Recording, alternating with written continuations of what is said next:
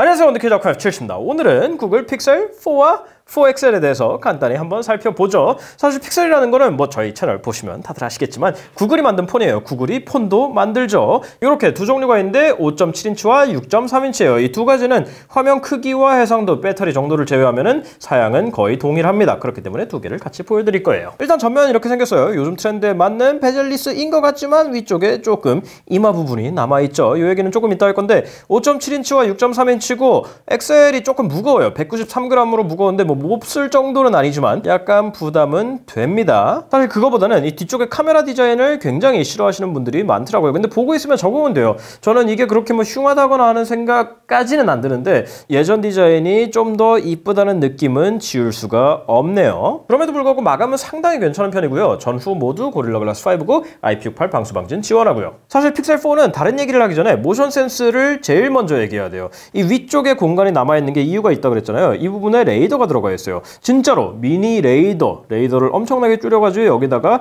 내장을 해놓은 건데 일단 첫 번째로는 음악 제어를 할 수 있어요. 이런 식으로 넘기고 이런 식으로 뒤로 가고 알람 같은 거 일시정지도 가능하고요. 근데 이런 제스처는 항상 느끼는 거지만 이게 막상 또 필요할 때는 이렇게 잘 되지가 않습니다. 잘 되지도 않거니와 이 위쪽에 공간을 이렇게까지 가져가면서 이게 필요한가 오케이 파티하거나 설거지할 때 유용하기는 하더라고요. 그런데 특히 설거지할 때는 구글 어시스턴트한테 시키면 되는데 이 정도 희생을 감수할 만한 기능 이라고까지 생각하지는 않아요. 결정적으로 지원하는 앱들도 너무 적고 우리나라는 되긴 하지만 이 주파수 대역 때문에 쓸 수 없는 나라들까지 있어요. 단적으로는 일본만 가도 이거 작동 안 하거든요. 물론 그 기능만으로 끝나는 건 아니고 사람이 가까이 왔을 때 화면을 띄워준다든지 이쪽에 있는 3D 카메라와 함께 안면 인식을 굉장히 빠르고 정확하게 해준다든지 하는 장점들도 있기는 하죠. 참고로 이건 배터리는 그렇게 많이 먹지는 않습니다. 뒤에서 얘기를 더 하겠지만 사실 다른 것보다 저는 이 화면이 특히 마음에 드는데 5.7인치 FHD plus 6.3인치 QHD plus 입니다. 뭐 요즘은 다 되는 것들 DCI P3에 광색역 지원하고요.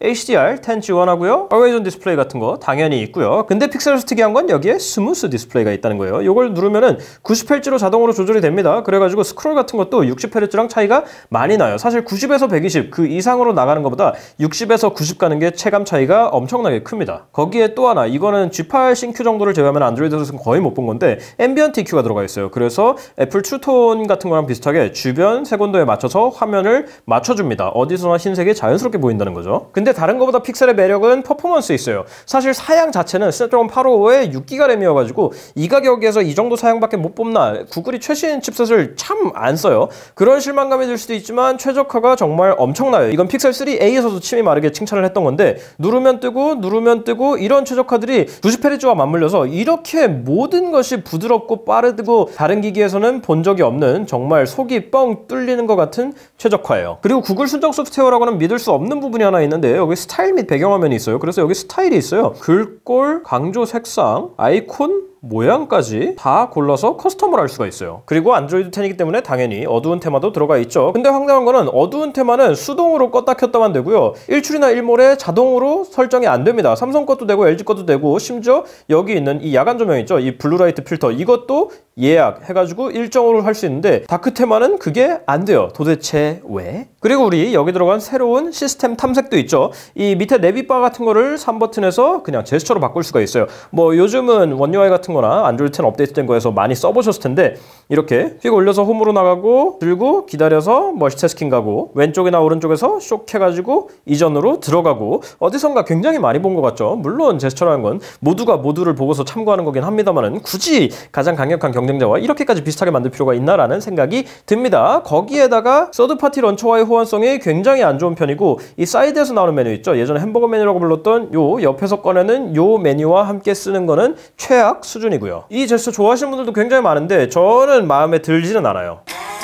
오히려 그거보다는 주변에서 노래가 나오면은 항상 듣고 있다가 제목이 표시되는 이 Now Playing 기능 이런 소소한 것들이 마음에 들어요. 뭐 이왕 지적을 시작했으니까 마저 얘기하면은 이 사이드를 갖다가 쥐어짜면은 구글 어시스턴트를 킬 수 있는 이 기능에 여전히 custom이 안 됩니다. 저는 이걸 쥐어짜면 플래시가 켜지게 뭐 이런 식으로 바꾸고 싶은데 무조건 구글 어시스턴트로밖에 동작을 안 해요. 그리고 다른 것보다 구글은 메뉴 정리를 좀 해야 돼요. 여기 모션 센서 설정 가면은 곡 건너뛰기 방해가 되는 알림 음소거 뭐 이런 옵션들이 있어요. 근데 이게 동작에 가면은 이쪽에 또 있어요. 뭐 찾기 쉬우라고 여러 군데에 넣어놓는 것 같기는 한데 이렇게 메뉴가 똑같은 게 여러 개 중복되면은 헷갈립니다. 좀 한 군데에만 정리를 하고 삼성이나 LG처럼 혹시 이걸 찾으시나요? 해가지고 넘기는 그런 방식으로 하는 게 일관성이 있지 않을까 싶어요. 그리고 요즘 세상에 이 가격을 받는 플래그십에 64기가나 128기가 심지어 그거보다 높은 거는 제공하지도 않고 마이크로 SD 카드로 확장도 안 되는 건 좀 심하지 않아요? 그럼에도 한 가지 위안이 되는 건 이제 eSIM과 나노심을 듀얼로 쓸 수 있어요. 그래서 두 가지 심을 전환만 하는 게 아니라 동시에 쓸 수 있다는 게 위안거리긴 하겠네요. 우리나라는 eSIM이 언제 될까요? 자, 근데 사실 픽셀은 카메라 얘기가 제일 먼저 나왔어야 되는데 이번에 Motion Sense라는 특이한 기능이 들어가서 좀 뒤로 빠졌는데 f1.7의 12메가픽셀 광각과 f2.4의 16메가픽셀 망원 렌즈 두 개가 들어가 있어요.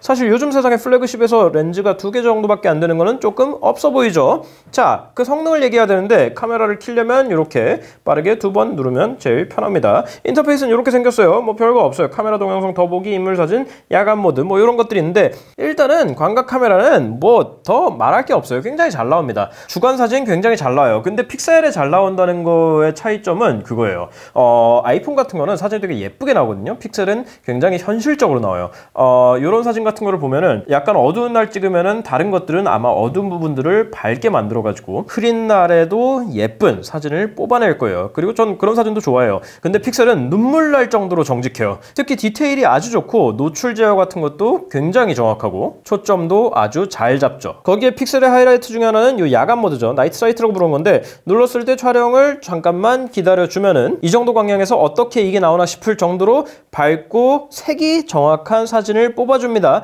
근데 이제는 옛날만큼은 아니더라고요. 어, 다른 제조사가 워낙 좋아지기도 했거니와 이 센서가 2.5분의 1인치예요. 그래서 좀 오래됐죠. 물론 여전히 처리의 힘으로 최고 중 하나지만 이제 그냥 최고라고 단언하기에는 어려울 것 같습니다. 혹시 필요하시면은 이 타임랩스에 천문 모드도 있어요. 그래가지고 고정시켜놔가지고 별 움직이는 거를 길게 장노출로 가져가면서도 위치를 알아서 맞춰줘가지고 밝게 찍는 뭐 그런 모드도 있고요. 그거보다 두 번째 렌즈는 뭘 하느냐? 아까 말씀드린 대로 줌 렌즈예요. 줌 렌즈에다가 OIS까지 들어가 있다는 부분이 특히 마음에 들고요. 뭐 이 가격대에 당연한 거긴 하지만 물론 Super Res Zoom이 있어가지고 디지털 줌도 선명한 편이기는 하지만 광학 줌 정도는 아니거든요. 여하튼 품질 자체는 그냥 평범해요. 뭐 줌 렌즈 자체가 엄청나거나 그러지는 않지만 인물 사진은 여전히 대단합니다. 렌즈가 하나 있을 때도 굉장히 정확했는데 이제 렌즈가 두 개니까 사이드 처리 같은 거라든지 효과의 자연스러움이라든지 사람뿐만 아니라 사물들 뭐 고양이라든지 그냥 서 있는 물체라든지 혹은 음식에 적용해도 아주 자연스러워요. 거기에 이중 노출을 지원해서 피사체와 배경의 노출을 다르게 가져갈 수도 있죠. 그런데 저는 렌즈가 쓸데없이 많은 것보다는 좋은 렌즈 하나가 들어가 있는 게 좋다고 생각은 합니다만은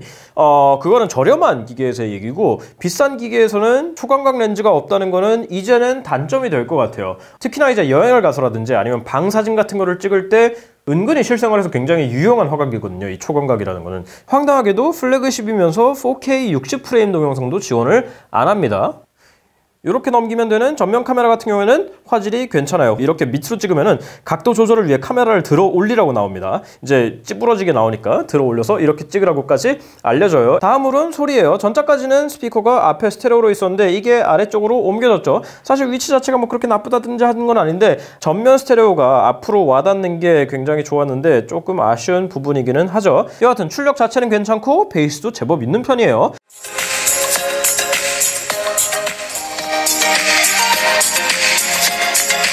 볼륨을 최고로 높이면은 조금 실망스럽긴 한데 그러지만 않으면은 충분히 괜찮은 스피커예요. 그리고 방금 밑에 보셔서 아시겠지만 뭐 요즘 플래그십 다 그렇죠. 3.5mm 이어폰 잭이 없습니다. 구글이 놀리다가 빼가지고 좀 더 괘씸하긴 한데 뭐 이제는 세상이 그렇게 됐으니까. 다음으로는 배터리인데요. 조금 애매해요. 배터리를 많이 먹는 기능들이 워낙 많이 들어가 있어가지고 이 들어가지고 화면이 자동으로 켜지는 이 Motion Sense 관련된 기능이라든지 90Hz라든지 모두 다 켠 상태에서는 픽셀 4가 5시간 반, 픽셀 4 XL도 5시간 반 정도가 가고요.